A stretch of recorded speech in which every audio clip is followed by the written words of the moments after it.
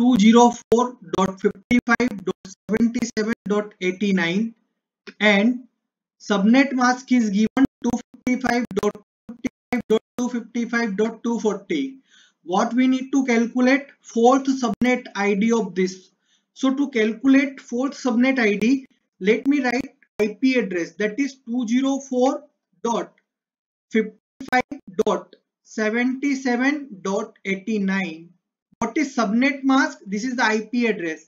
What is subnet mask? Subnet mask is 255 dot 255 dot 255 dot 240 now classify classify what kind of ip address it is. It is class c ip address. So if it is class c ip address first three octets are network id octets we do not need to work on them.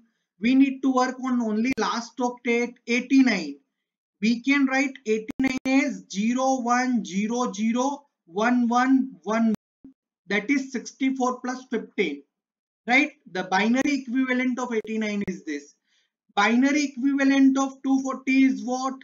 11110000 now what you need to do you need to perform bitwise AND operation here. Bitwise AND operation if you are going to perform 0 1 is 0 1 1 is 1 0 1 0 0 1 0 1 0 0 1 0 0 1 0 0 1 0 0 what you are getting?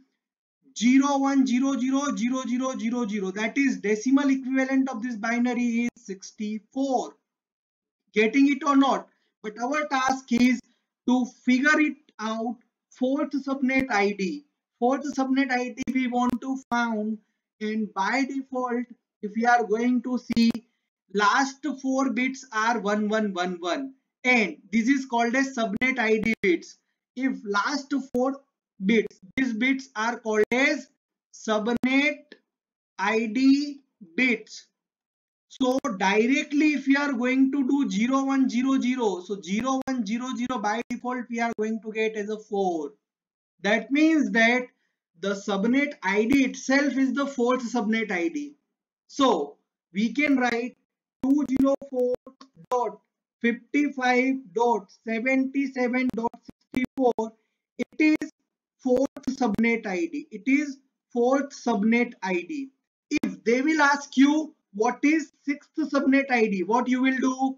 0110 it is going to give you sixth subnet id so in that case in that case what your problem will become? Here it will also become 1 so 64 plus 32 that is 64 plus 32 it will become 96 in that case sixth subnet id will become 204.55.77.96 it is your sixth subnet id but we need fourth subnet.